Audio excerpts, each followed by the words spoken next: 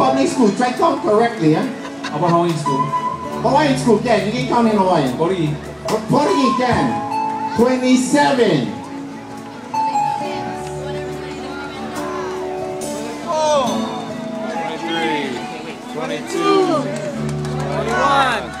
Will be one hour by the time you guys count. It's already down to 12. Seven, six, five, four, three, two, one.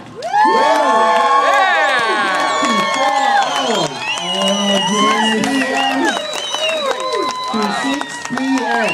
You're crazy. You're not well. Brother, I gotta tell you. You're fine, bro. Bro, I tell you, you're not well. Like these good kind crazy. They're like me, good kind crazy. Where Khalil? Khalil. My turn, next. One minute. Okay, that's it. Khalil, where you staying? Oh, come, come, brother. Gotta carry him, man. Kaleo. Oh, Come here, come. Come here.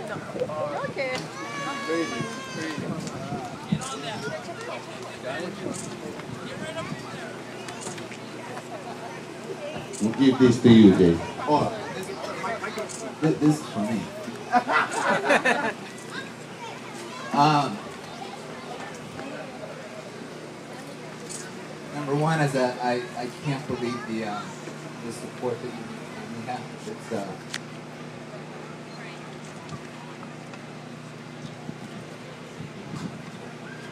doesn't get better than that. To sit here for 24 hours and watch how much love have supporting you. And I just, uh, I prayed for you and, and Wendy and your kids for 24 hours. And uh, the spirit that I just kept having come upon me is, uh, you have to fight for us. You have to fight for your family. You have to fight for your kids.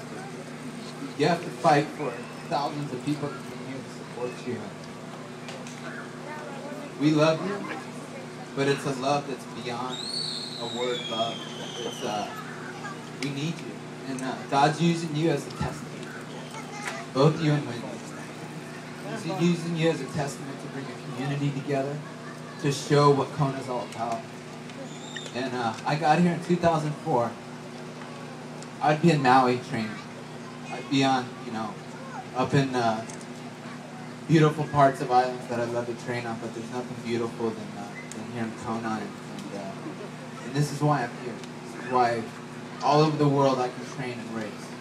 Um, but I always come home back to Kona to, to train. And um, I did this run for one reason, and uh, it wasn't for money. It wasn't to get my sponsors involved. It wasn't to show that I could run 100 miles in, in 24 hours.